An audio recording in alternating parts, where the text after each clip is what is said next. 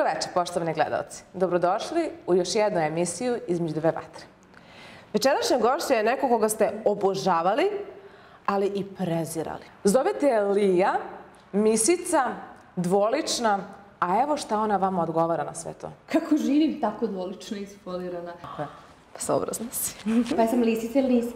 Jovana Ljubisavljević odgovorila na sva naša vatrena pitanja, a jedno od njih bilo je kako reaguje na to što je zovu Karićeva bivša. Ja njega ne do, izgleda ne poznam dovoljno dobro, mm -hmm. da bih mogla ti odgovorim na to, nažalost. Da. Jer ga generalno sada po nekim uh, situacijama baš ne prepoznajem. Baš mi je žao što se ovako završilo, nemam kontakt sa njim, znači ni sa kim iz, iz te porodice, od strane svih sam blokirana.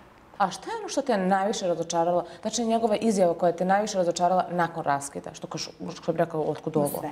Sve? Da, da, da. Svih tih komponenta koje sam ja gurala, to je ljubav, poverenje, vera, nada, sve živo što dan za dan, noć za noć, pukne i ne ostane ništa. Mm -hmm. Onda samo ta realnost koja te udari jako boli. Mm -hmm. Radila si mu iza leđa, tako je on rekao. Dok je on bio unutra. Brako. Jovana nam je otkrila i koliko se teško odrekla bazena i Rolexa, pa iskreno otkrila i da li još uvek voli Stefana. Aj sad realno, da li, da li ti fali bazen Jovana? Uh.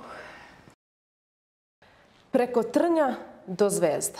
Moramo da se uh, osvrnemo iz, na tvoj odnos sa Vladimirom Tomovićem. Da li si se ti čula sa njim nakon cele one priče, na kraju krajeva i sad na kraju, posle priče sa Stefanom Karićem? Da pomerate pijete kafu ili samo surovo profesionalno? Sad si rekla. Da, pa ne mogu to da znam dok ne budemo seli. Pa šta misliš? Pa ne znam, zato što on, dečko, ne dolazi da. tako često u Beograd. Lisice, vrati auto. Ti kad budeš rešila da prodaš taj auto, ti u oglasu napiši Misica rešila da proda Karićev auto. Dupla cena. Pa što dupla deset puta? Može, imaš procenat. pa naravno, pa naravno. Moja ideja. Da mi prokomentariš samo ovo. Ste mi bre zato dovele? Pa ne, ali to treba da prokomentariš. Neću bre ovo da snimim. Ostanite uz nas.